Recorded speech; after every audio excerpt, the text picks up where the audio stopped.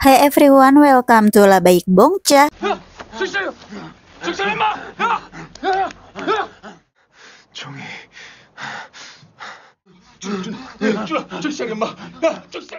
Cerita diawali dari detektif bernama Cundong yang sedang menyelidiki kasus anak yang hilang. Tanpa sengaja di sebuah gedung yang sepi, Cundong bertemu pemuda misterius memakai hoodie sedang menggambar di tembok memakai pilox. Gambar itu menyerupai taman anak-anak dan ada gedung bertuliskan Hangbok. Sebulan kemudian, anak yang hilang itu dilaporkan meninggal dunia dan ditemukan di sebuah TKP. Cundong kaget melihat TKP kejadian sama persis seperti yang digambar si pemuda itu. Cundong yang penasaran siapa pemuda itu langsung menyelidikinya dan menemukan tempat tinggalnya. Pemuda misterius itu diketahui bernama Kim Jun. Dia menduga bahwa Jun lah yang telah membunuh si anak karena dia tahu di mana TKP-nya. Jun yang bingung langsung mengelak dan melarikan diri, sehingga akhirnya Kim Jun menggunakan kekuatannya dan melihat masa lalu Cundong. Masa lalu yang tidak pernah dia ceritakan kepada siapa pun mengenai adik kandungnya. Cundong yang merasa Kim Jun itu sangat menakutkan akhirnya memutuskan melarikan diri. Chundong akhirnya mengetahui bahwa Kim Jun punya kekuatan unik yang disebut psikometri, yaitu kemampuan melihat masa lalu dengan menyentuh suatu objek. Chundong pun memutuskan untuk minta maaf padanya dan mengajaknya bekerja sama untuk membantu mengungkap kasus pembunuhan tersebut. Kim Jun akhirnya bersedia membantu Chundong karena Chundong menyelamatkannya dari keroyokan gangster. Tapi dari keroyokan itu Chundong pun terluka kepalanya dan dia pingsan di rumahnya Kim Jun. Yang belum Chundong ketahui adalah setiap Kim Jun memakai kekuatannya dia harus merelakan nyawanya sendiri. Karena ketika Kim Jun sedang memindai dia harus mengalami kesakitan, mimisan, kejang-kejang, bahkan muntah darah. Selain itu juga dia harus kehilangan tenaga dan susah untuk melepaskan tangannya dari objek yang dia pegang.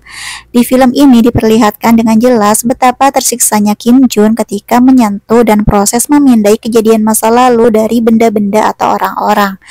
Dan benar-benar deh aktingnya Kim Bum memang udah nggak diragukan lagi sehingga yang nonton pun ikut merasakan kesakitan dan sesak nafas. Ada satu lagi kasus penculikan anak bernama Dahi yang membuat polisi sibuk.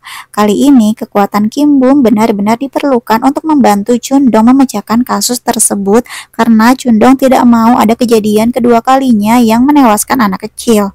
Tapi semuanya tidak berjalan lancar karena atasannya Chundong mulai curiga kepada Chundong dan Kim Jun. Dia akhirnya menangkap Kim Jun diam-diam dan menuduhnya sebagai pelaku pembunuhan dan penculikan.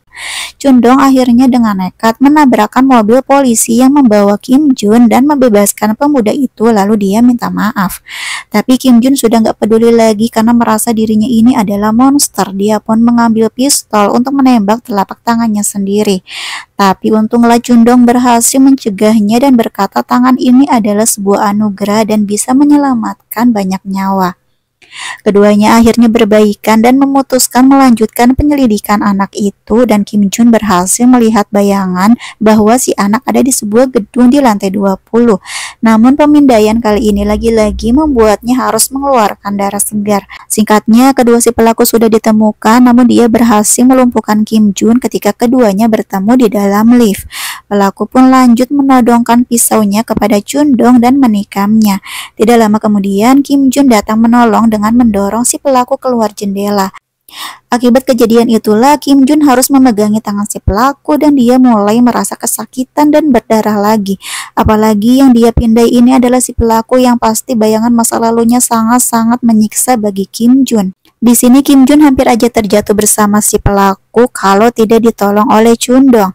Chundong segera menyelamatkan Kim Jun dari si pelaku dan melepaskan tangannya. Kim Jun pun tergeletak di lantai dengan tenaga yang hampir habis dan dirinya tuh udah mulai sekarat. Chundong yang melihat keadaan Kim Jun yang memprihatinkan langsung menghampirinya dan menangis. Melihat kondisinya Kim Jun yang hampir mati, Chun Dong sangat nggak tega. Dia hanya bisa memegangi tangannya Kim Jun yang penuh darah. Tapi di sini endingnya sedikit menggantung karena nggak dikasih tahu apakah Kim Jun masih hidup atau meninggal dunia. Ah, ah.